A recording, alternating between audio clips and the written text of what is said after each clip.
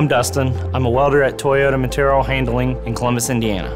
I want to show you a typical day in the life of a welder.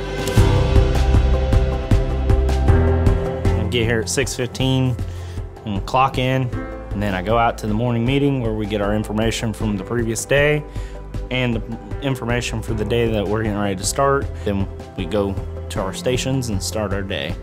So here at Toyota, we 100% MIG weld everything that we produce and Toyota provides us everything with our PPE, like our weld jackets, our pants, our shirts, our boots, safety glasses, and anything else we need.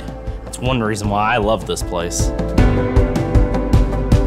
On our lines, we have smoke eaters, and what it does is as you're welding, the smoke literally goes right up into a vacuum, into a box, which has a whole bunch of filtering systems. It's basically a lot healthier for you than just regular welding.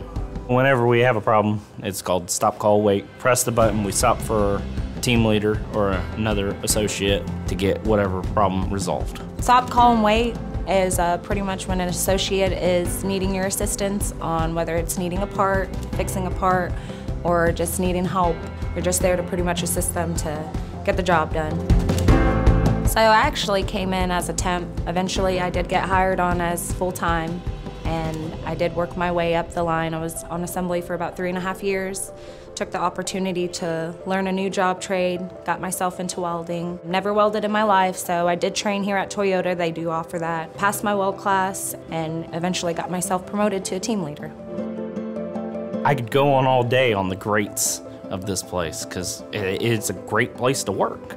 It can be hard and physical and demanding. Like in my job, I have to lift up a bottom plate to put it on a table. After you do that 100 times a day, your, your arms are tired, but at the end of the day, you're getting out earlier than you would anywhere else. You're, you're actually getting to spend time with your family. We also have workout equipment. We have two basketball courts, a medical center on campus, and it's free to any of the employees. We roll roughly 200 trucks off the line a day, and I love being a part of that. I really don't have anything bad to say about the company because they've been so good to me. It sounds scripted, but it's not. It, it's literally a great place to work.